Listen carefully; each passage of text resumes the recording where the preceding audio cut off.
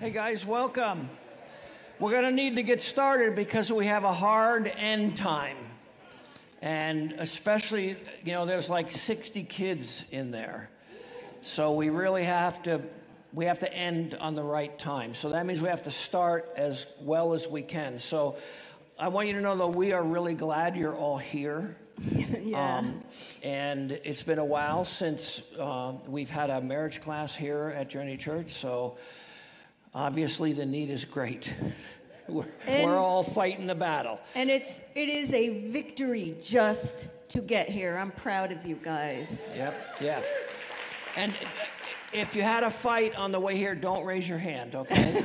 uh, but- so, For the record, yes, you, you're not, you know, where there's going to be some table discussion time, and there, you're not required to share anything. I want you to know that, that this is a sa- safe, a emotionally safe place, no embarrassment zone. right? And you won't be put on the spot. Nope, nobody will ask you a question. And if you decide, if you go home and decide you do want to talk about something next week, you can do that. But if you decide, no, let's not talk about that, then don't. It's okay. Right. And, it- and it's better if, if you do want to share something because what's happening in our lives is really important. And you're going to find as we share things from our life that we're all in this same boat here. Yeah. And so this, the, um, oh, the thing to remember too is that what's said at the table stays at the table. And we all know that. And Yep. so the format, the basic format of the class, the Marriage 101 classes that we have, is there's 30 minutes of Ernie Lee and I will teach and share and tell stories. And then we have approximately 30 minutes of a world class teacher. Because you'd get tired of us, as good as we are. Oh, we're good, yeah. Um, uh, but to mix it up with somebody who is a seasoned communicator is really good. And then we shoot for table discussion at the end. Because in a church this size, it's really hard to get to know people. But a table is a great place to break down some walls and get to know people. And that's, that's what we're doing. And so we're going to close the meeting at 8 o'clock. And then you have to go get your kids If you right have away. kids here, you have to go get them. But if you don't, then sometimes what happens at the table just needs to go on another 15 or 20 minutes, and you can talk as long as you want. Mm-hmm. And that's what we hope it spurs, getting to know each other. So I didn't notice that there, they It's were there. there. It is there. There is a, a little form on your table if you have any specific questions. We definitely don't do it on the fly. Right. Big mistake. So um, if you have a question, just write it on the form, give it to us later, and Yeah. then we'll answer it next week. And you can put it in the offering box. It's, we'll pull the questions out of there too if you need to. Um, and we really will try to answer Mm-hmm. those when we can. Um, We had really hoped to kind of tap some people on the shoulder to be table leaders so that the, your tables would go, you know, easy for you and just our own circumstances. Um, we, we were unable to do that. So, what we're saying is we're all in this together. And some of you are talkers and some of you aren't. Okay? and you know who you are. Yes. And what we want, we believe everybody can be there for everybody else and make it easy for one another. So we're asking you to all kind of rise up to the the challenge of helping mm-hmm. your table by making it easy and comfortable for the people around you, okay? So we, we're nominating all of you to give what you can, to encourage what happens at the table to be fun and exhilarating. And um, we all know, like the disciples, uh, Jesus said, Well, are you going to leave me too? And they said, Well, where would we go because you have the words of life? And we all have the words of life in us and the capacity to share them. So think about that. It will, it will encourage the people at your table. And we're over the next six weeks, we're going to talk about some tough topics, and Rick and I are not shy. Okay, so brace yourself. We're going to talk about some tough topics. Um, but on the other hand, you are not required, again, to say one word that you don't want to say. Okay? Mm-hmm. Got it? Okay. And, and so the, the, the world class teacher we're going to use um, for at least this and maybe a couple of more is Mark Gungor. He's Laugh Your Way to a Better Marriage. And that guy, you're going to see, and we're going to have to stop the video and in you're the all middle go, oh, of where you, no. where you don't want it to stop. But uh-huh. you're going to have to come back next week because we're going to start it again. But he will get you laughing, but brace yourself. You open your mouth to laugh, and truth is going to come right into it. Hit you between the eyes. So we'll know if you're trying to laugh without opening your mouth. And he, you know, he Mark Gungor has a lot to say about sex, and actually, so do we. And we're going to go there. Um, in our opinion, he's right on. But when you stop to think about it, sex is the one and only thing you can only do together as husband and wife. That's right. You can go fishing or bowling with anybody. Mm-hmm. Right? But this is one thing the, the exclusiveness God, that God designed it to be is so important. And again, you're not expected to share anything. Mm-hmm. So, the story of our beginning. Um, Rick and I were together for over two years um, before we were married. We were heathens. We sinned. And we got married in January of 1972. And we gave our lives to Christ on March 19th, 1972. Right. So we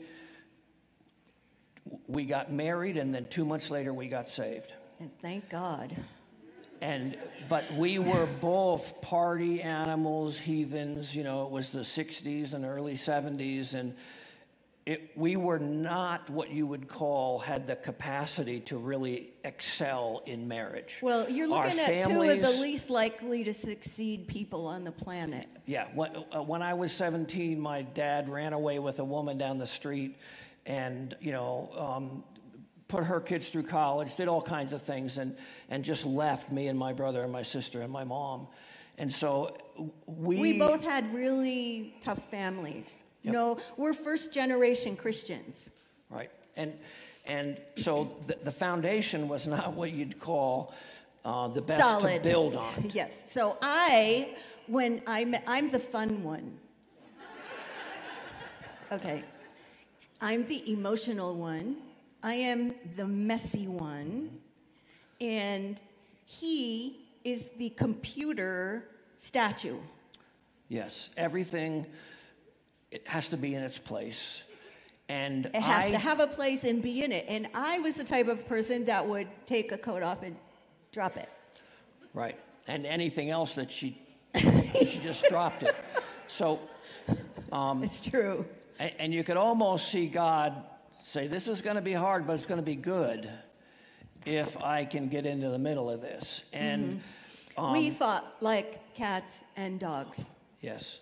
Over um, everything. Most e- everything. Of, most of what, because we were raised so differently, I was raised in a family where there was no outward emotion shown at all. Zero. I remember once my dad running and, and uh, helping my mom up because she like slipped down two steps. And that was, that's the high point of the emotional connection that I had. I, on the other hand, was very clingy. Yeah, she, she still is a little clingy. but she wanted to be held. And I, I thought, I was always like, Rick, hold me. And he was always like, get off me. Yeah, and, don't you ever stop crying? It's like, come on. So, so the differences, we're trying to tell you the differences. Now, when we got saved, It was back in the Jesus movement, and if you were saved six months, you were an elder.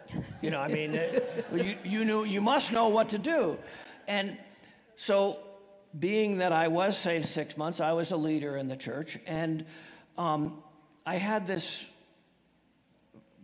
person Woman. from another Woman. planet. A She woman. a, she's a woman, but I did not know what to do with her, except I could tell that she was broke. And so she needed help. She needed God's help. She needed to s- submit herself to the Word of God so she could get fixed. And I prayed and fasted periodically for her for five years. Five years that God would fix her. Oops. finally, God pinned me on the living room floor, and I cried a wet spot in the carpet as he and it finally got me to hear that I was the problem. Five years.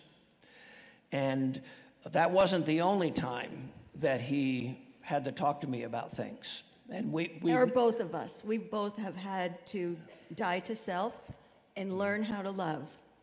And the, the, here's the very first tip we want to give you there is no man and woman who are married together that are compatible. None. Right. Forget it. Don't bother praying for her. It's all about praying for you because God's got this thing. So God is bigger. That's why we shared our foundation, foundation is because God is bigger than anything you came into the marriage with. Mm-hmm. This God we serve knows exactly what you need, and He has the power and the wisdom to give it to you. Mm-hmm. And He's waiting for you to say, Yes. okay, it's me, And- help and, me. And it, our generation, you know, we're, we're, we're getting old. And What's up with that? I know, it stinks. But this generation, in this generation, everything in the world has changed. And this is very important that you hear me on this. Everything has changed, our society, people, what's going on.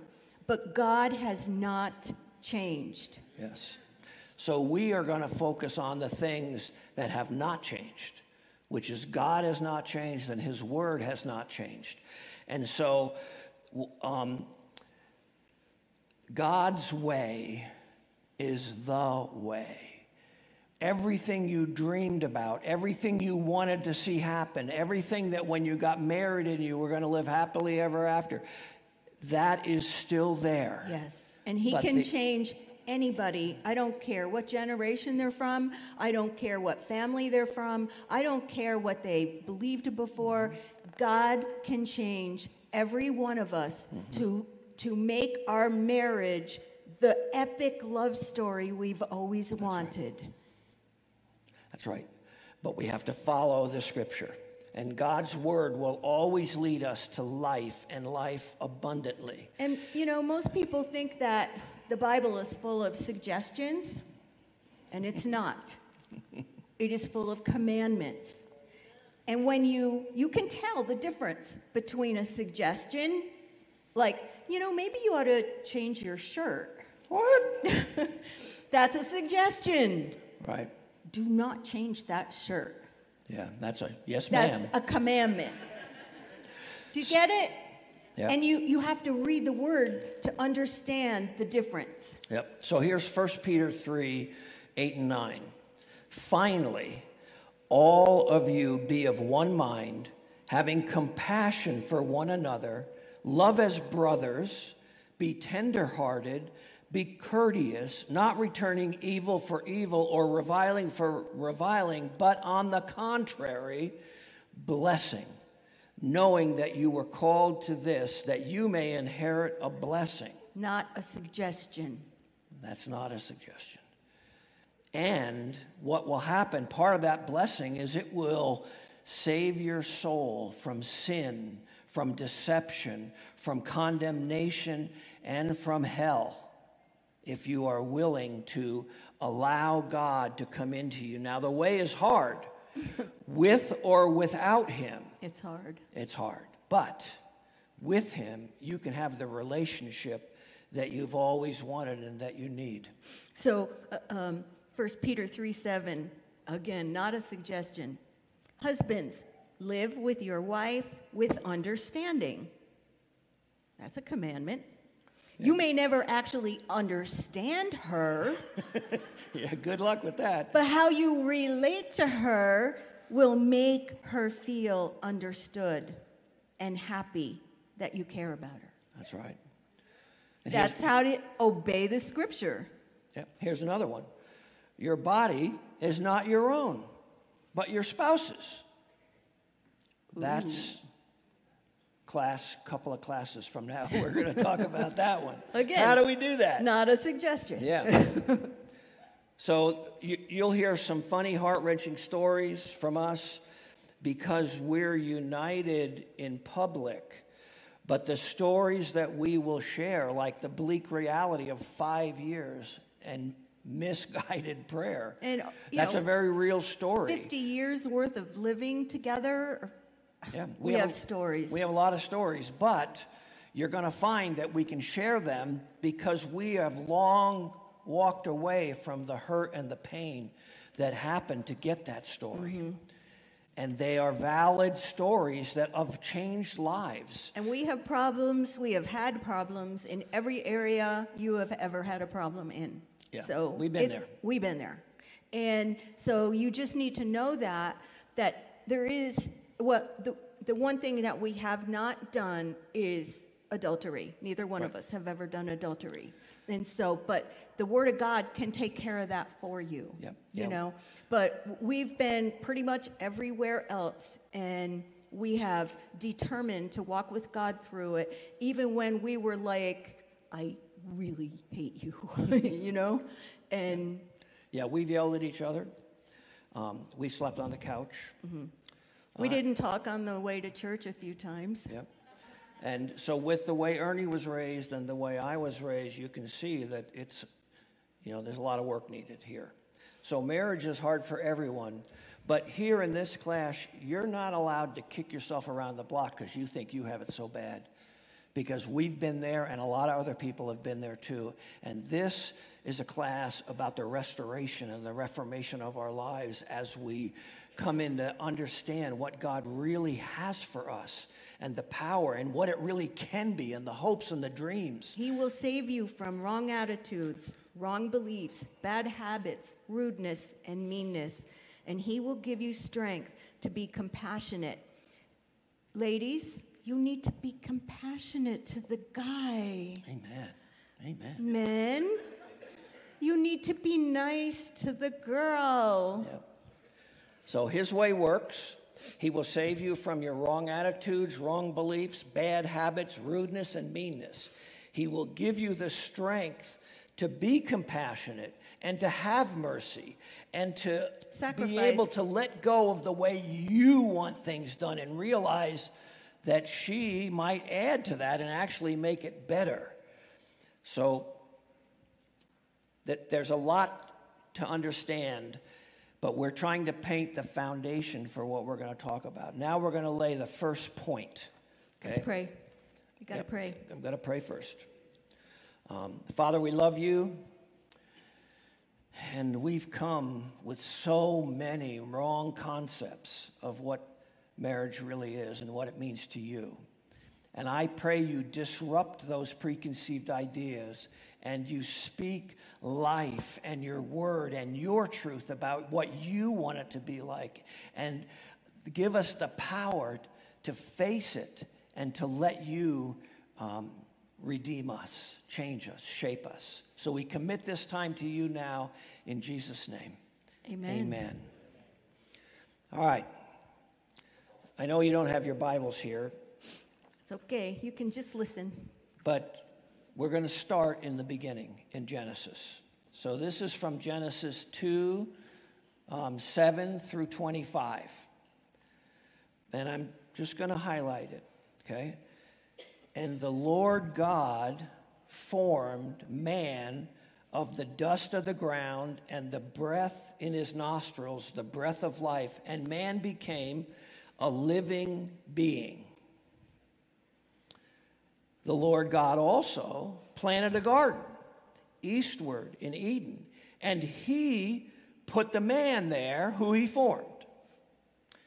And out of the ground, the Lord God made every tree pleasant in sight, good for food. The tree of life was also in the midst. In verse 15, the Lord God took the man and put him in the Garden of Eden to tend it and keep it. And the Lord God commanded the man, saying, Of every tree in the garden you may eat freely, but of the tree of knowledge of good and evil you shall not eat, for in that day you eat it, you shall surely die. Another not suggestion. Yes. And the Lord God said, It's not good that man should be alone. That's right. I will make him a helper. And out of the ground, the Lord God formed every beast in the field of the air and all this stuff. And so Adam gave names to all the cattle, the birds, and the beasts in the field. But for Adam, there was not found a helper compar- comparable to him. So here's the stage life was great, just man and God. Now, man does not ask for anything else. He's busy naming the animals, climbing the mountains, going, tending, checking this fruit out. This is pretty good. So I'm going to paraphrase verse 18. And the Lord God said, The party's over. You're getting a helper, and it's not going to be another animal. And this helper is going to help you in ways that if I told you now, you would surely die. so, so the point is who said this? It was the Lord God that did this. He said it's not good that man should be alone. He said, I'm going to make a helper. Man did not design the helper, God did. And in verse 21, and the Lord God caused a deep sleep. He had no to, kidding. He had to put him on his back, man. He had to render him completely incapacitated. And he slept, and he took one of his ribs. Then the rib which the Lord God, the Lord God, had taken from the man, he made into a woman, and he brought her to the man. And he said, Woe, man. It's like, wow, nice job, God. So, Eve is the final crowning creation that the Lord God made. She is deliberately the way she is. God made her, and we needed her. Otherwise, we. You'd all still be naming animals. Yeah. So it was wonderful. And, and, you know, women, I want you to know that we really do think you're beautiful. We really love you. And God did that in us. You're special.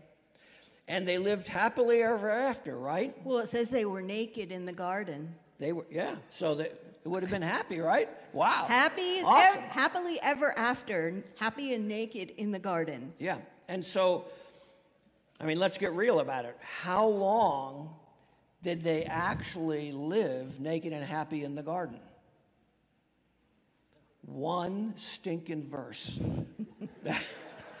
That's all they made it, one verse. And within 12 verses, the man had completely fallen and was explaining to God that it was the problem was this woman that he gave her. And then they were out of the garden. And not much has changed in the last six or seven thousand years. No, We're still people. blaming the woman for our problems. Lord, just fix this woman. So, uh, just a couple of observations. Most of us men would have been left happy to be alone, to do whatever happens to be our favorite work, hobby, or activity. The proverbial, I'm going to the garage the fishing hole or the program or even the work of ministry can be just leave me alone. Just leave me alone. But not one of us can resist a naked woman. It's part of God's plan. So, not much has changed. In fact, if it wasn't for the sex drive, which the Lord, in His infinite wisdom, put in us, um, men would probably would remain like Adam was, happy in the garden, maintaining the 10 millionth species of spotted owl, and in our cases, be hunting, fishing, golfing, whatever it is. But let's be real, even God's work can be a place where we hide from intimacy. So many leaders in the church have missed the importance of their wife and that God did that.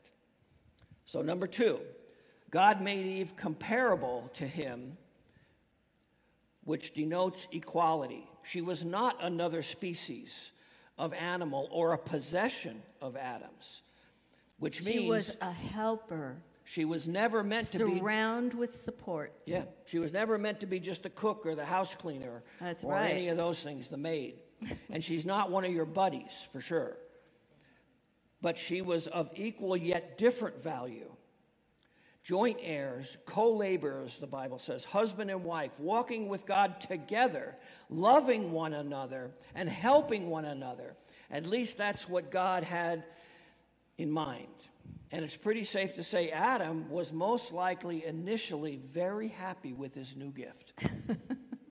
I'm- mean, I was so happy when I met Ernie Lee. I thought we would never have a problem. Maybe closet space, but I, I could. I saw nothing. I thought this is the perfect woman.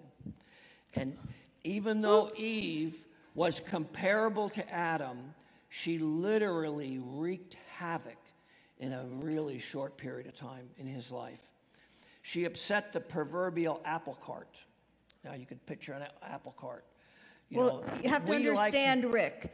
If Rick ever had an apple cart, they would be exactly where he wanted I them mean, to I be. I know, you know, I mean, I just know how an apple cart is supposed to. I mean, my life would have been just like that. And she came in and she said,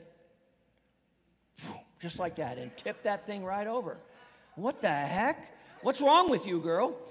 And and so it's possible that Adam would have gotten into trouble all by himself, but we'll never know, will we?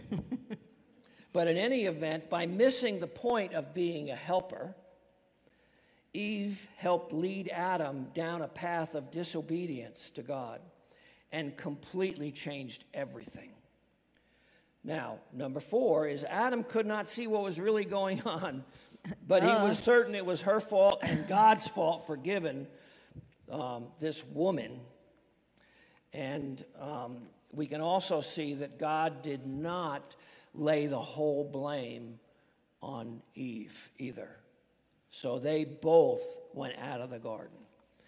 And so my final observation is this as time went on, the Lord has revealed through the gospel of good news that He not only orchestrated the whole scenario in the garden, knew exactly what Adam and Eve would do, allowed it anyway, and His plan for redemption unfolded with incredible and expected precision.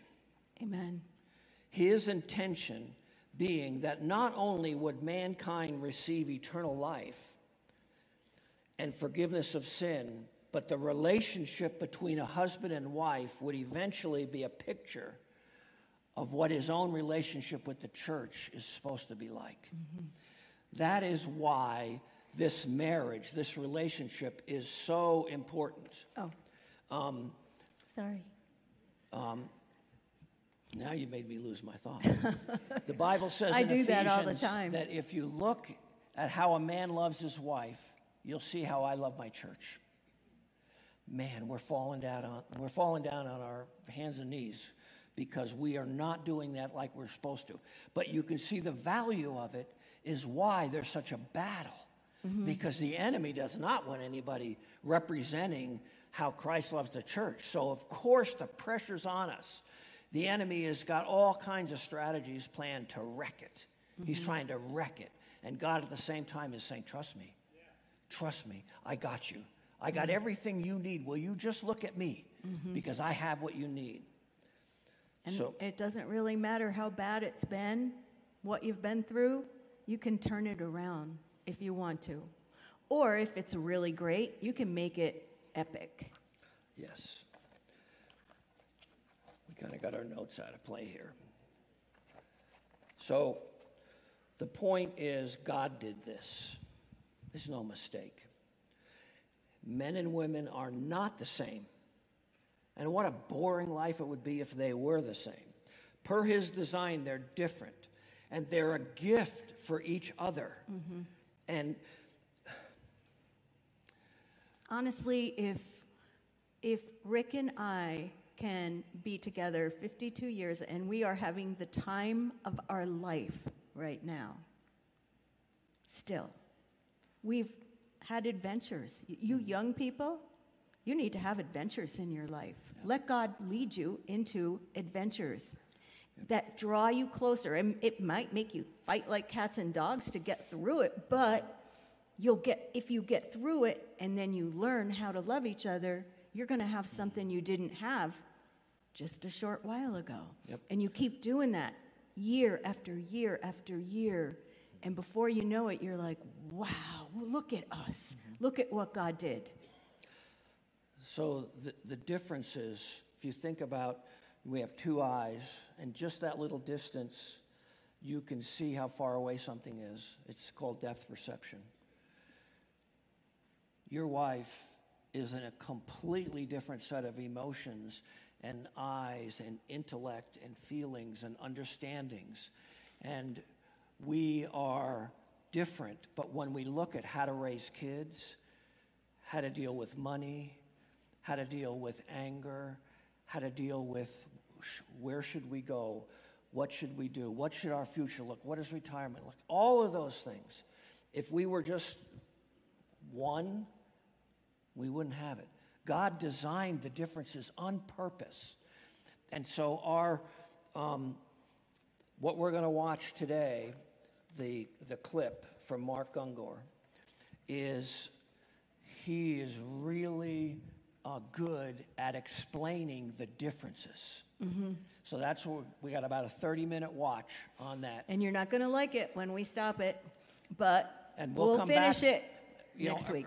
We'll come back quick and talk about tables and everything, but let's get this video going.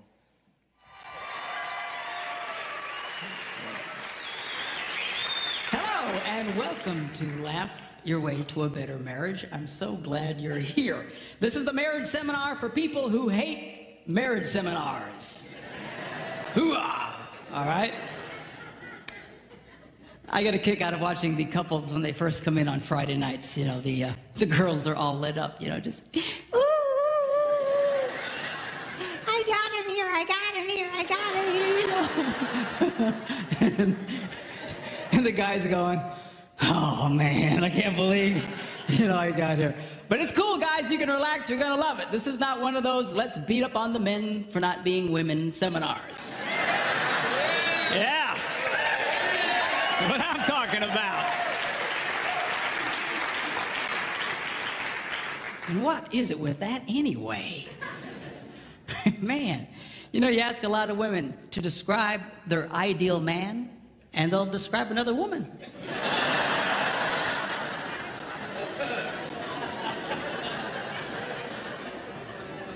What's up with that? You know? So we're not going to do that. We are going to uh, uh, just go with this thing in a normal, healthy way. We're men. Men are men. We're not sick. We're not perverted. We're not twisted. You know, we're not broken. We're men. All right? And God, yeah, hooah. And God made us the way we are for a reason. And I'm going to show you girls what that reason is. Okay? And I'm going to try and explain to you uh, the world of men a little bit through this thing. We'll also discuss the women's side of things as well. But I really want you to understand this men thing. Women are much more complicated than men.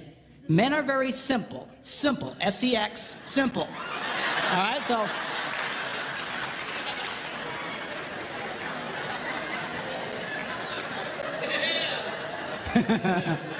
That's what I'm talking about, okay?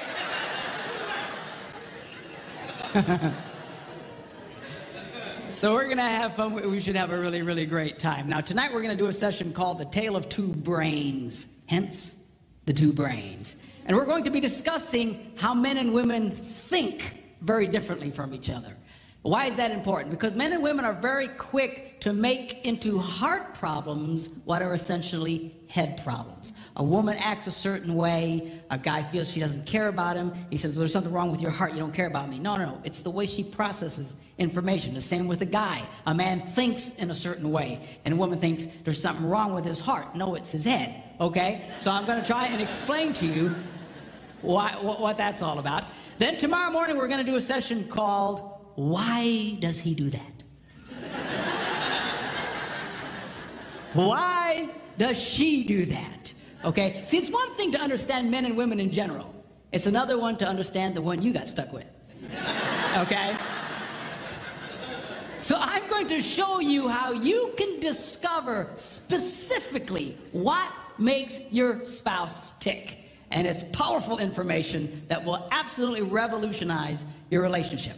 All right, then we're going to do what I call the Yo Mama session. And it's called the number one key to incredible sex. and boys, if you miss that, there's just something wrong with you, okay? So you gotta, you gotta check. And then we're gonna end with uh, how to stay married and not kill anybody, okay? All very deep emotional stuff. Now, Now, a lot of people say, well, what's your background? What's your, you know, what's your deal? Well, my background is that I'm a minister. Now, if you're not much of a churchgoer, don't let that make you nervous. Some of my biggest fans are heathens. All right? And this isn't one of those things where we sneak you in and then beat you over the head with a Bible. All right? But, but I do have a Bible verse I need to show you, okay? Because I found a Bible verse that if you follow the advice from this one Bible verse, you will never, ever, ever have a problem in marriage. How many think that's worth seeing?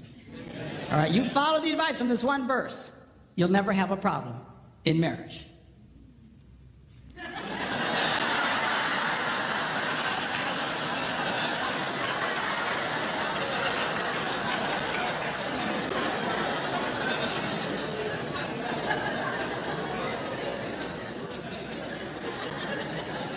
It says it, it's good for a man not to marry. All right? So, well, Well, why would he say that? That's such a terrible thing to say. because he goes on to explain he who marries will have trouble in this life.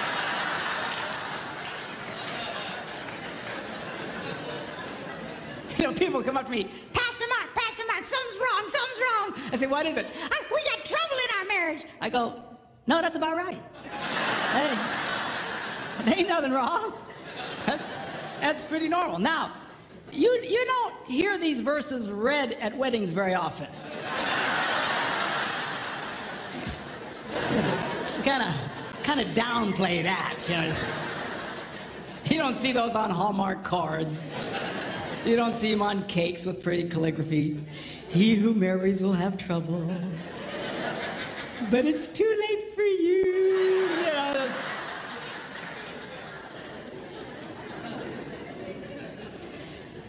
You then why get married? Because marriage is absolutely wonderful. It's great. It's fantastic. But it's not that it's without trouble. All right?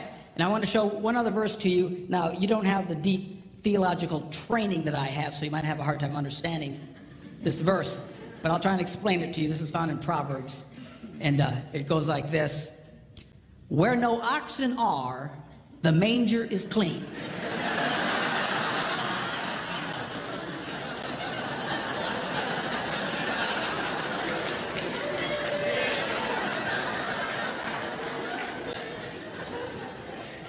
Let me explain that to you, okay? What does that mean? What it means is if you're going to have an ox, you're going to have ox poo. All right?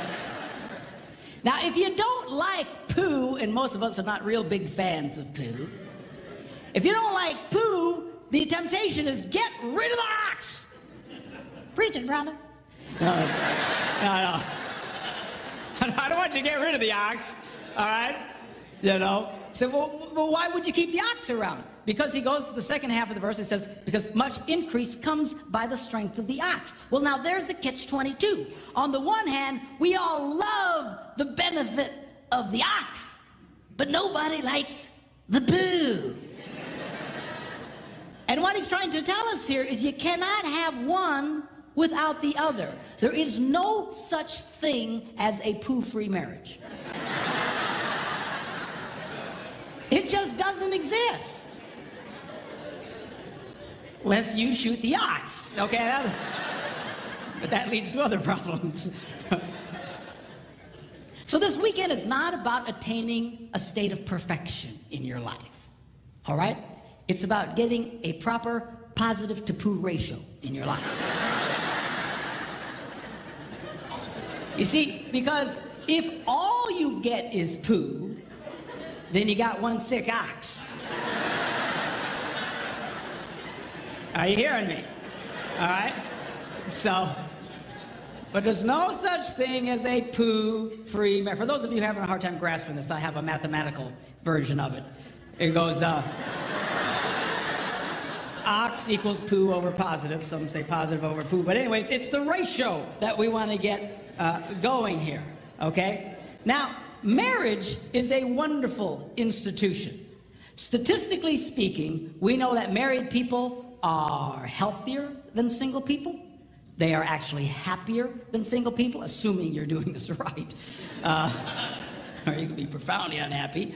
Uh, they actually make more money than single people, and I'll mention a little bit later why that's true. Okay? Uh, they have better sex than single people. Now, you don't see that in our culture, you know, in all the movies and shows, you know, it's the single people all having really great sex, you know, and, and the married people are. the.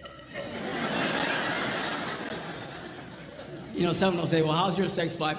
Are you kidding? I'm married, ha.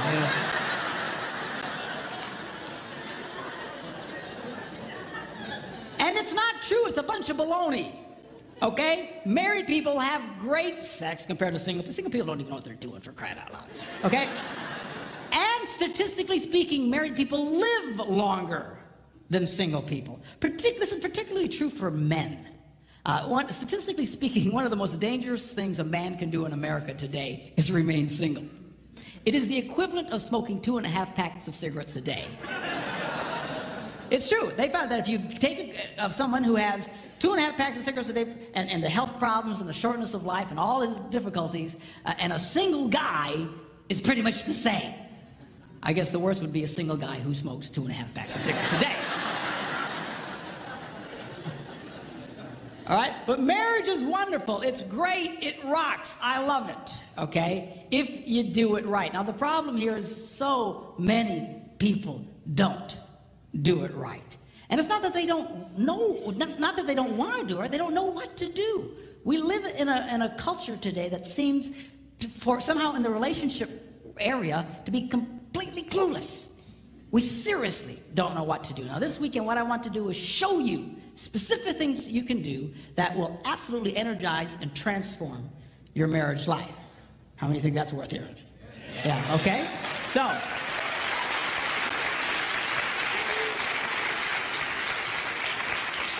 Now, I want to talk to you about what I call the, the laws of relational physics. You see, the laws of physics affect everybody, whether you believe them or not. Okay? If I step off this stage, I'm probably, in all likelihood, going to go down. If I start floating around, you might want to freak out and run. But uh, why? Because the laws of physics affect. Well, I don't believe that. It doesn't matter what I believe. I'm going down, right? Doesn't matter if I'm a born again Christian. Doesn't matter if I'm a heathen. It, man, I'm going because it affects everybody. Well, just like that, there are laws of relational physics, and they affect everybody, whether you believe them or not. Now, this might come as a little bit of a shock uh, to those of you who are, are church people, especially hearing from a minister. But the truth is, you don't have to be a Christian to have a great marriage. I know a lot of heathens that have wonderful marriages. I know a lot of born again Christians who have horrible marriages. Why is that? They're breaking all the rules. And they assume somehow that the rules don't apply to them, but they do. Uh, Here's an example. If you're driving a car 80 miles an hour around a curve that says only 40 and you keep going 80, chances are you're going to get hurt, even if you're listening to a Christian radio station.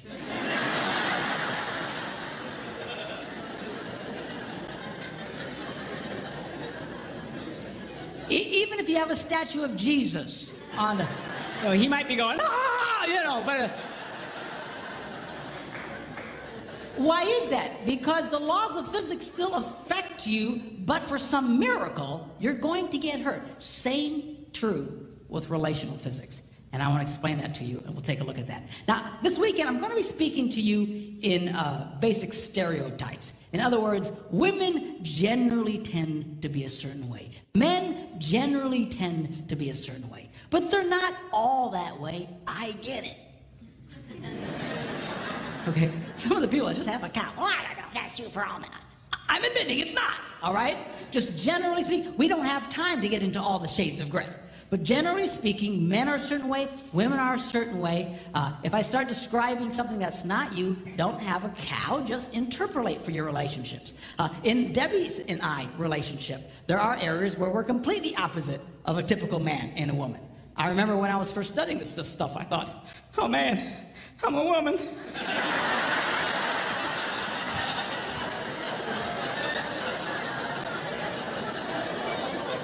So just interpolate. I will say this: that if you if you tend to be one way in a, in a certain relationship, your wife generally will be the other way. I, I don't think I've run across a couple yet. I'm, I'm sure they're out there that act the exact same way. You know, so if you break the rules, chances are your spouse is breaking them right with you, and you, you just flip on this deal. Okay? For example, a typical stereotype: men are more interested in sex than their wives. Why would you say that? Because generally it's true. But it's not always true. There are a lot of relationships where the wife is much more interested in sex than her husband. Uh, if you're here tonight and your wife is much more interested in sex than you are, I think I speak for all the men here when I say that we hate you.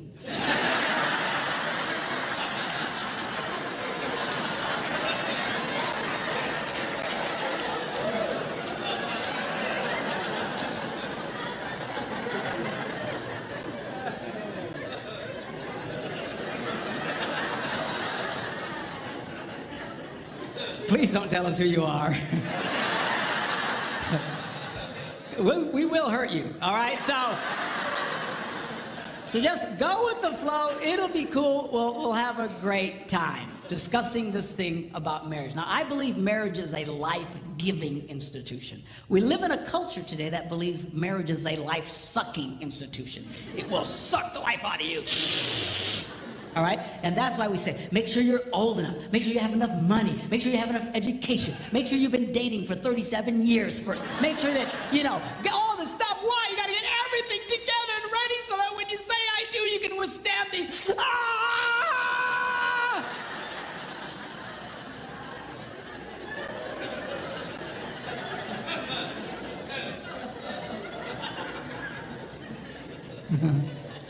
But it's not that way. It'll give you life if you'll do it right.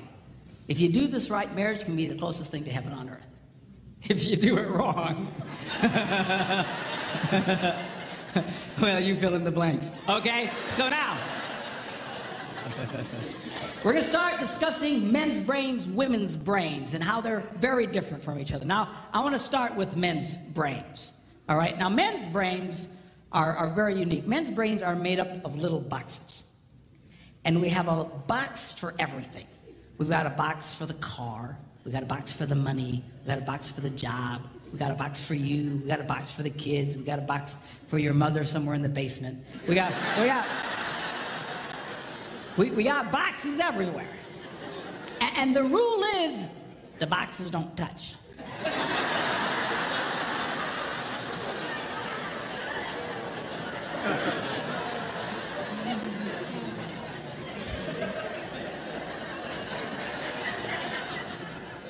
When a man discusses a particular subject, we go to that particular box, we pull that box out, we open the box, we discuss only what is in that box.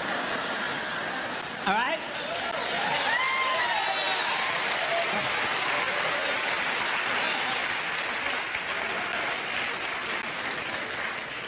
And, and, and then we close the box and put it away, being very, very careful not to touch any other boxes.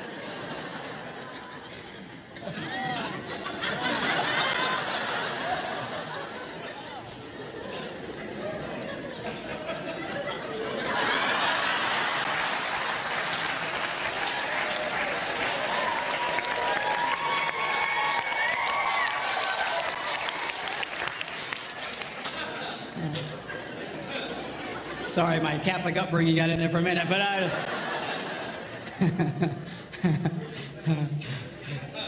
I'm not a Catholic, but I went to Catholic school when I was little. I, I had a nun who taught on hell like she was born and raised there. I mean, I'll never forget it. But uh, it did me good, actually. It was a good thing. Now, women's brains are very, very different from men's brains. Women's brains are made up of a big ball of wire. And everything is connected to everything. The money's connected to the car, and the car's connected to your job, and your kids are connected to your mother, and everything's connected to everything. And it's like.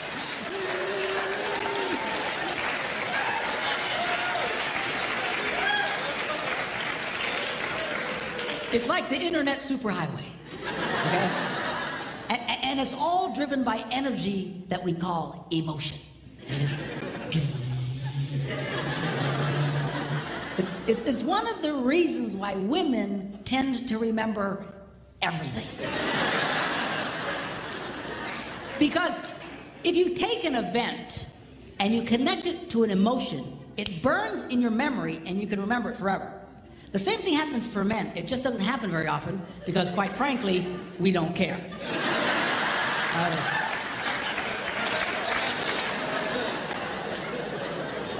women tend to care about everything. And she just loves it.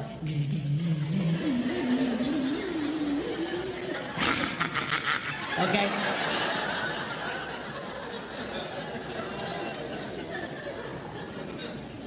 Now, men, we have a box in our brain that most women are not aware of. This particular box has nothing in it.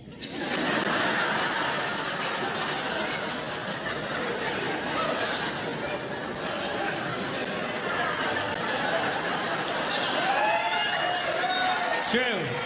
It's true. In fact, we call it the nothing box.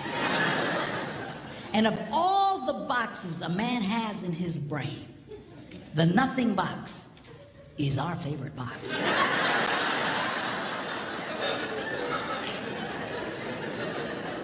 if a man has a chance, he'll go to his nothing box every time. That's why a man can do something seemingly completely brain dead for hours on end. You know, like fishing.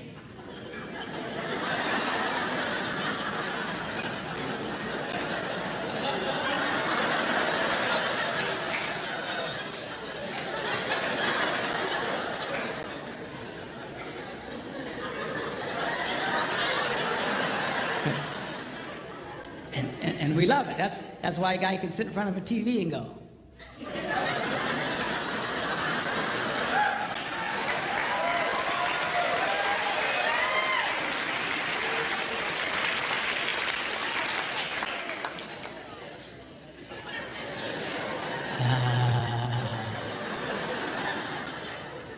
It glows. Ah. Of course, this drives our wives nuts because they'll come up and say, Stop that!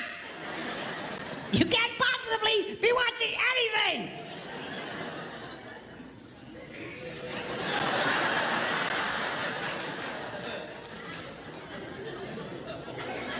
I'm not.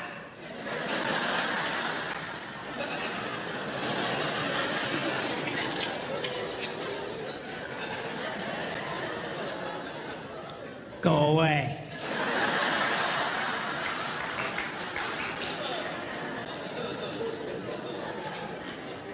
Now, they've actually measured this. The University of Pennsylvania, a couple of years ago, did a study and discovered that men have the ability to think about absolutely nothing and still breathe. You know, they connected all the wires and stuff like that and watched the brain activity, then all of a sudden, it's I think he's dead. Huh? You know, women can't do it. They can't Their minds never stop. And, and they don't understand the nothing box. And it drives them crazy. Because nothing drives a woman more crazy or makes her feel more irritated than to witness a man doing nothing.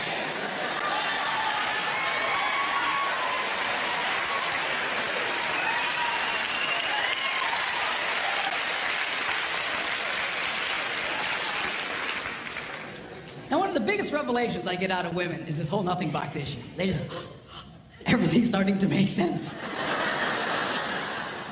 and I, have had women say, oh, it's nothing. Well, can I go in his nothing box with him? no! Why not? Because then it's something. Besides, you'll walk in there and go, You know, you know, this place could really use some pictures. nice little table over here, some flowers. Is it? No! Nothing! Get out! We don't want nothing.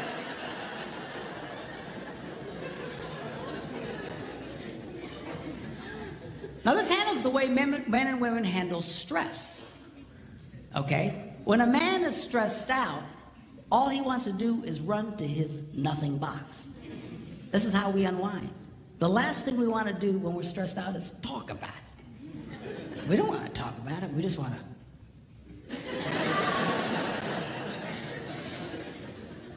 of course, it just drives her nuts, you know. A woman will see a man in that vegetative state and she'll come up and go,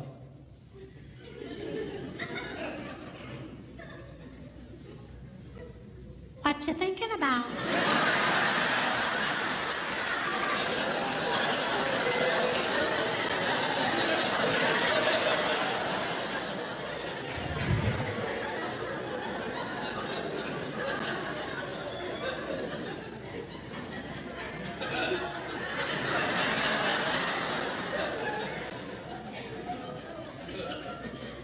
Nothing. We gotta be thinking about something. No, I was thinking about nothing. In fact, I was on a roll till you showed up. Go away, all right? Because that's how he handles stress. He just. now, when a woman is stressed out, she has to talk about it. If she doesn't talk about it, her brain will literally explode. so she'll start just. I don't know, might have something to do with this. Not going to have that. You know, I never thought about this. My brother over here said to me, and, and I know men who run from their wives when they do this. They do. I say well, why do you run from her? He says, because I don't know what to tell her.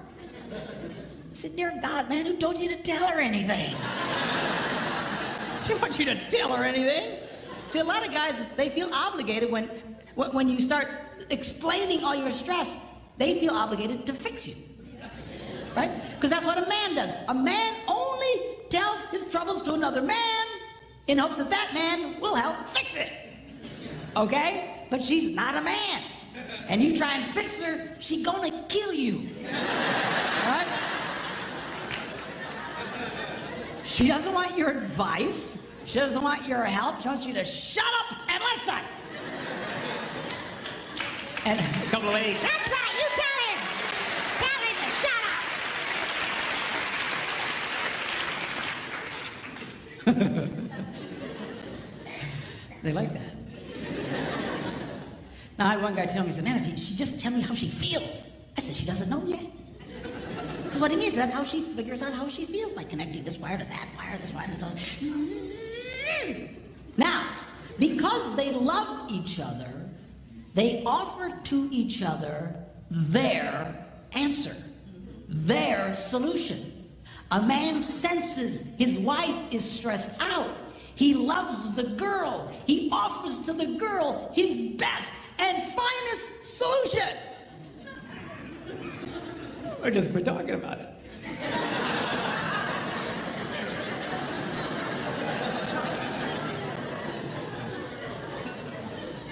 just, just quit thinking about it. Yeah.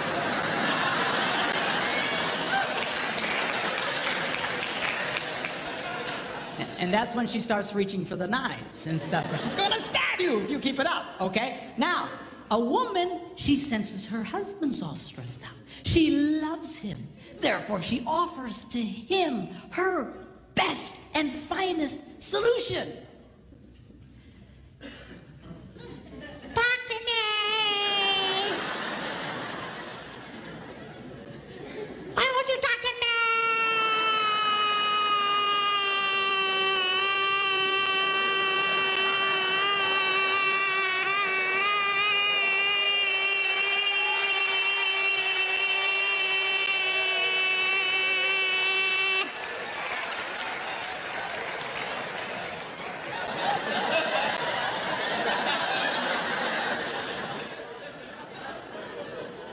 Go away. he doesn't want to talk to you. Leave him alone. He will not die. He's not a woman. All right? I know you've got to talk it through or you're going to be twisted inside. He's not like that. Leave the boy alone. You tell he's stressed out, just let him go to his nothing box. Just stay away. Stay away. Okay? And it's hard for us to understand that because we, we think so differently each other.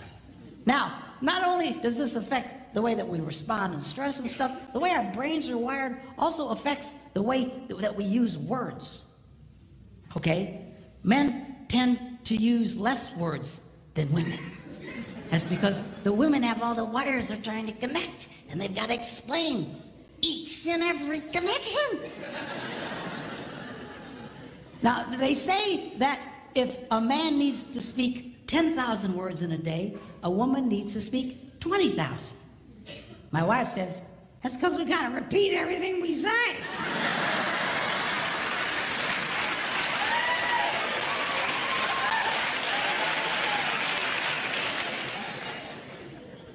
to which I responded, huh? Where is my darling redhead? Is she around? Come up. I want you to meet my wife, Debbie. Come on up here. And just...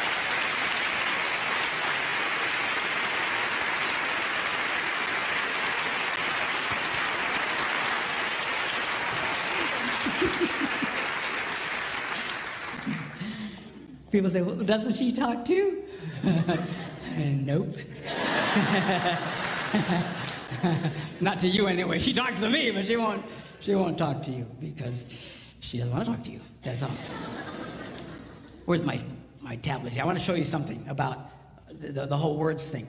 Um, you know, they actually measured this. They went in and, and studied uh, children and babies and found out that they actually went and took cameras and put them in nurseries and analyzed the pictures later.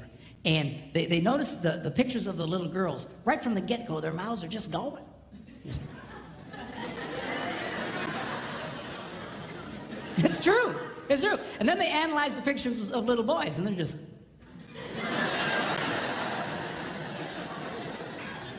they're still thinking, what was that? I want to go back. I don't get it. Okay? Um, then they went and, and they recorded conversations of little boys and girls on playgrounds. And they went back and analyzed them. And uh, they discovered that little girls loved to talk. They were very articulate, loved to use full sentences, just loved to talk. And if they didn't have anybody to talk to, they were perfectly content to talk to nobody. And they were just, just, just complete sentences. Then they analyzed the conversations of the little boys, and only about 55% of it was intelligible. Because that's what they were saying. You know, just, uh, uh, yes. That's that's conversation to a man. Okay? Now. Not only do we use different amounts of words, words can mean different things to men and women. For example,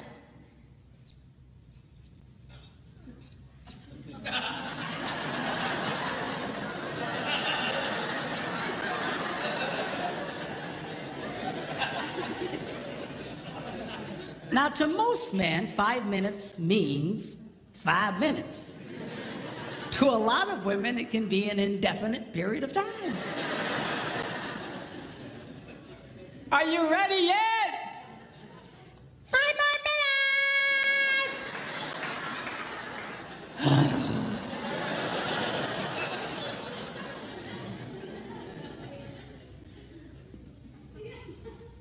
As we discussed, men understand nothing. Women don't understand the significance of nothing. If a woman says nothing, look out, it's something.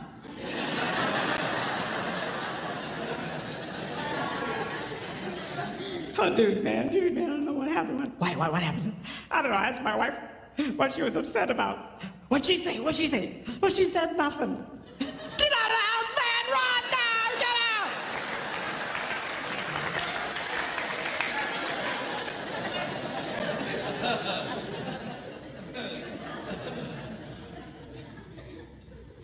Now, this is not a word, it's a vocalization, it's a sigh. now, when a man sighs, it means everything is good with life. when a woman sighs, it means you are an idiot.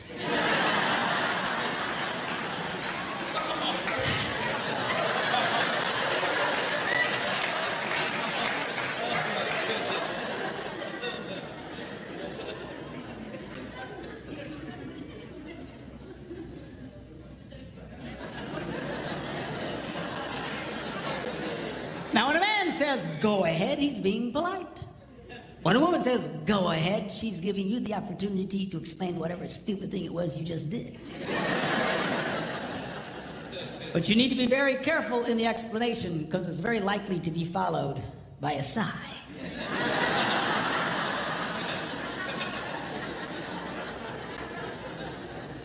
Which will lead to an argument over nothing.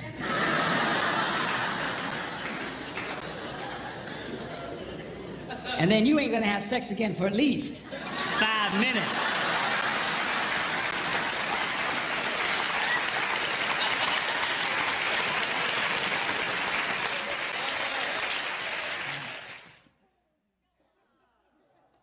I told you that was going to happen.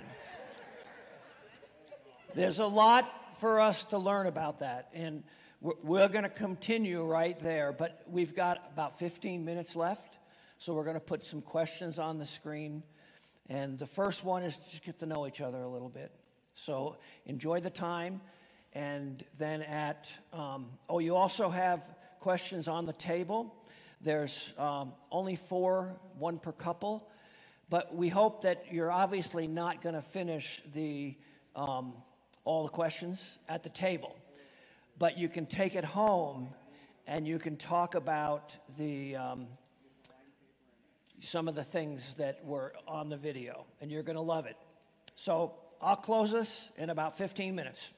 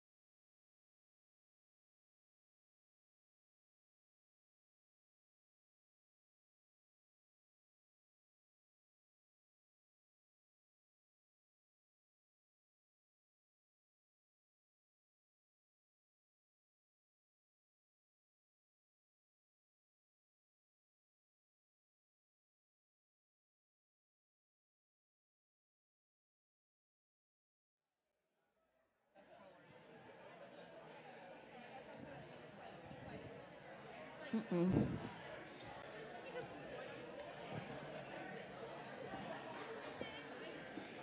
on the wrong side. Hey guys, we're just going to pause for a second um, and we're going to close in prayer. We want to mention one thing though before we do.